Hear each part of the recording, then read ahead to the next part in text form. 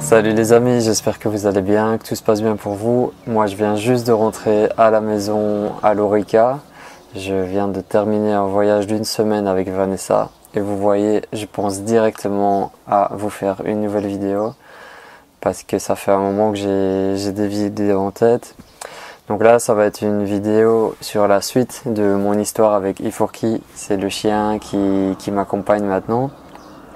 J'ai vu que vous avez été très nombreux à apprécier ma vidéo précédente dans laquelle je vous parlais de ma rencontre avec Iforki, de son opération, sa stérilisation à Marrakech qui s'est euh, moyennement bien passée, du, du, non suivi avec le vétérinaire et des petits problèmes que ça, ça a engendré et surtout de ma communication animale que j'ai pu faire avec elle grâce à mon amie Jessica Jess sur euh, mon amie Jessica de Facebook.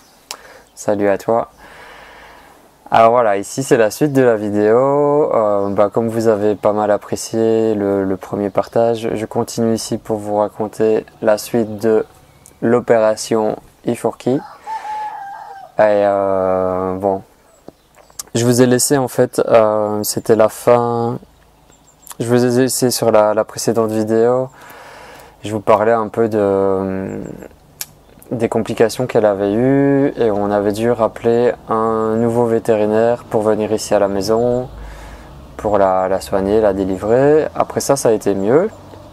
Donc euh, elle, a vraiment, euh, elle a vraiment bien repris. Elle, euh, elle, a repris ses habitudes de sortir, promener.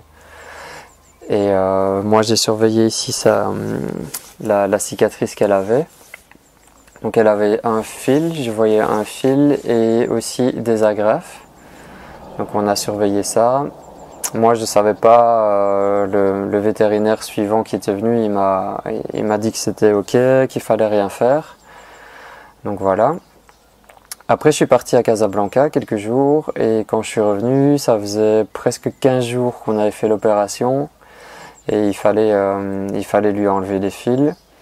Donc pas de nouvelles de la clinique vétérinaire qui s'est occupée d'elle et de toute façon je veux vraiment plus jamais entendre parler d'eux. Donc pas de nouvelles pour le suivi, pour enlever les fils. Le nouveau vétérinaire qui était venu, je l'ai rappelé à mon retour de Casa. J'ai essayé d'avoir un rendez-vous avec lui, mais ça s'est pas passé comme, euh, comme je l'aurais imaginé. En fait, ce vétérinaire euh, apparemment était très très occupé et j'étais pas du tout dans, dans, ses priorités. Donc là, j'étais vraiment très déçu par, euh, par son comportement. J'ai essayé d'avoir un rendez-vous avec lui parce qu'il a un cabinet à Lorica. Donc il m'a dit qu'il, enfin le jour où je lui ai demandé le rendez-vous, il m'a dit qu'il allait me tenir au courant, qu'il allait me rappeler pour qu'on puisse fixer ça. Moi, c'est toute une organisation parce qu'il faut que je trouve un transport pour la pour l'amener là-bas. Euh, il faut vraiment s'organiser pour qu'elle soit avec moi aussi. Pas que je, doive la, chercher dans la nature pendant deux heures. Bref, le, mec il me rappelle pas. Je suis obligé de, de courir après lui. Et ça, ça va durer deux trois jours. Donc, euh, soit il me dit qu'il me rappelle, soit il me dit qu'il va qu'il va passer et finalement il vient pas. Euh, au bout de 2-3 jours, j'ai vraiment pété les plombs. Je, euh, je, l'ai appelé jusqu'à ce qu'il réponde. vraiment, j'ai pété les plombs. Je, je trouvais pas ça normal qu'il fasse ça. Enfin, qu'il agisse comme ça. À un moment, il a répondu, tu vois. Enfin, vous voyez. Et euh, là, le mec, il commence à s'emballer sur moi. Vraiment, du genre, oui, il n'y a pas besoin de s'inquiéter. C'est un chien. C'est un chien de la rue. Pour ses fils, c'est pas grave. Mais je lui ai dit, moi je veux juste, euh, je veux juste une réponse de, ta part. C'est pas, c'est pas normal de ne pas répondre à tes clients et de chaque fois de me dire oui oui j'arrive, je viens, je viens et, et, pas de réponse. Quand je fais des messages, pas de réponse. Tu réponds pas aux appels. Pour moi c'est pas normal. Je vais, je vais chercher un autre vétérinaire. Et là il me dit oui ok bah c'est mieux comme ça. Euh, cherche une autre, cherche une autre personne et il raccroche. Vraiment, je suis très déçu. Je suis très très très déçu que ce soit le, premier vétérinaire de la clinique qui pensait juste à l'argent et qui, qui pas fait de suivi, qui m'a rien expliqué. Là, je suis, c'était déjà mal parti. Après le deuxième qui vient chez moi en urgence, je, je crois vraiment que c'est une bonne personne qui, qui va pouvoir s'occuper d'Ifourki sur le long terme. Et après, il me, laisse des vides, il me répond pas, il, il prend pas, soin de la, relation euh, client. Bah après j'ai dû chercher un autre vétérinaire pour qu'on puisse enlever les fils. Donc là, le mec, il est venu euh, presque directement. Il est venu ici à la maison. Il a regardé pour, euh, pour Ifourki ses, ses points. Et apparemment, elle était un peu infectée. Ou, euh, ouais, c'était ça, infectée ou inflammée. Donc il m'a dit, je peux pas retirer des fils maintenant, mais il faut mettre euh, bah, l'isobétadine, il faut surveiller, il faut nettoyer. Pour ça pendant quelques jours. Donc j'ai fait ça. Après il est, il est revenu. Il est revenu pour enlever les fils. Là j'ai cru à nouveau que ça allait se repasser la, même histoire. Donc euh, qu'il allait pas venir ou pas me répondre. Finalement il est venu. Mais là aussi, c'était vraiment une épreuve euh, vraiment très, très, très difficile. Il faut savoir que le jour avant qu'il arrive, Ifurki, elle a, elle a enlevé elle-même son, son, fil. Donc elle avait un long fil avec un nœud. Ça, j'ai vu qu'elle l'a arraché. Je sais pas comment elle a fait, mais bon, heureusement, il n'y a pas de, dégâts. Donc il restait juste une dizaine d'agrafes. Je ne comprends pas comment on peut mettre des agrafes. J'imagine qu'il y a une explication... Euh, médicale sur la raison des agrafes, mais je trouve ça vraiment barbare. Enfin, difficile. Voilà, le mec il arrive, le vétérinaire, euh, déjà il n'a pas de matériel. Il arrive ici pour enlever, pour enlever les fils du chien, pour s'occuper de lui, il n'a pas de matériel. Il a juste une paire de ciseaux euh, qui marche pas, une pince et un petit bac en je sais pas quoi. Bon, déjà ça c'est pas normal. Moi j'étais ici à la maison avec Larsen, mon, ami qui, qui s'occupe aussi du chien. Donc c'est Larsen qui doit partir, aller chercher une paire de ciseaux qui, qui vraiment coupe bien le, métal, qui coupe, qui va couper les agrafes. Donc ça prend du temps pour, pour trouver ça. Après, on commence, euh, je, je, prends le chien, je, je le fais se coucher pour qu'elle bouge pas. et, et, le mec il, il commence à, à enlever les agrafes. Là, vraiment, j'ai passé un moment très, très, très difficile. Et parce que, comme vous savez, je suis, en pâte, je ressens fort les, émotions euh, des autres. Et si je vois quelqu'un euh, avec une blessure ou, là, mon chien qui, qui est en train de vivre une épreuve difficile, je ressens tout et c'est vraiment affreux.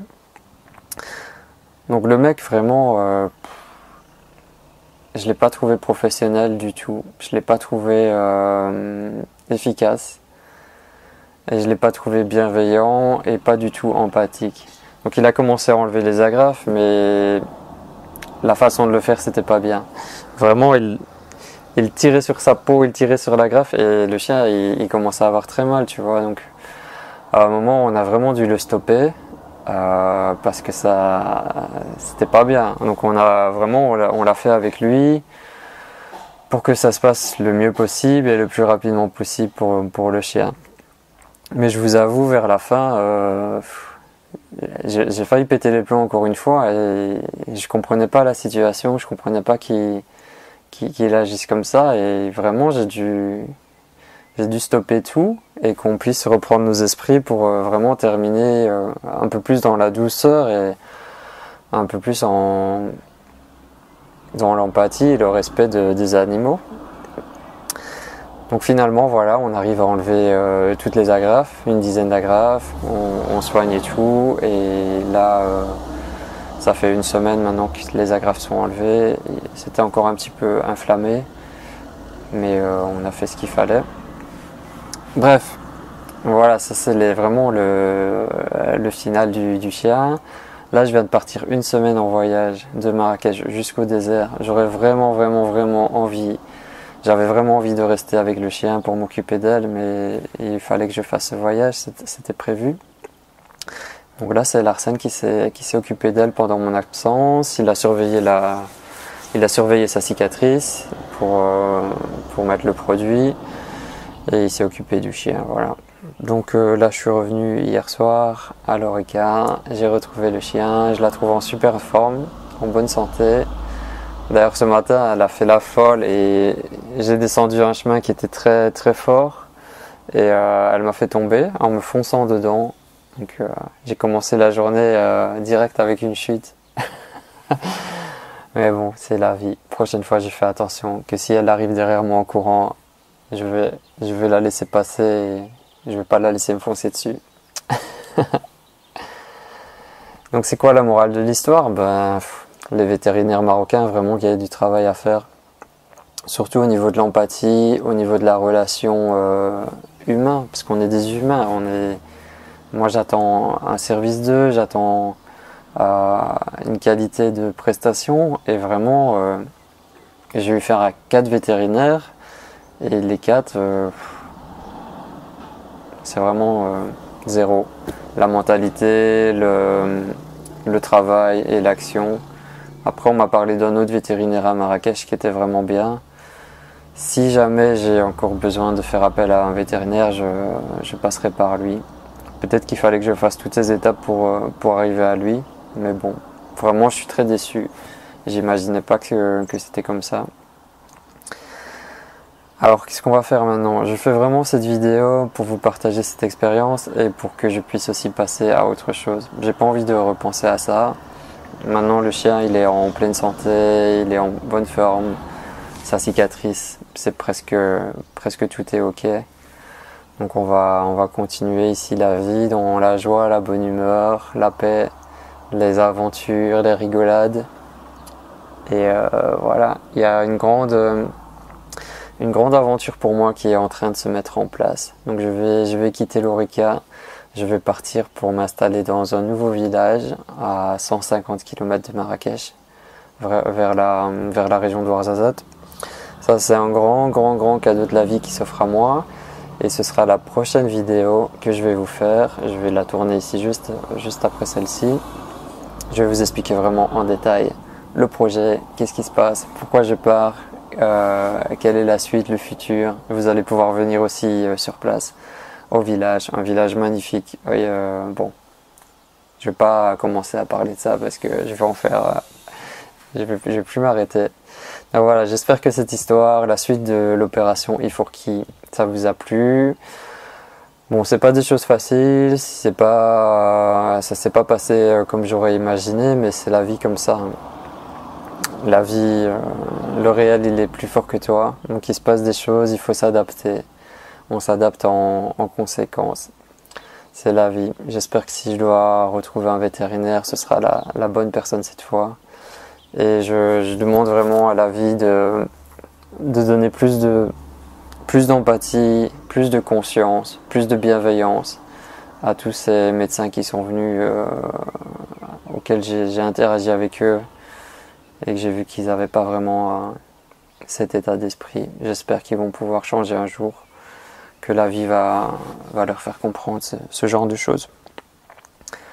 Je pense à vous et je vous souhaite de passer une très belle journée, une très belle soirée.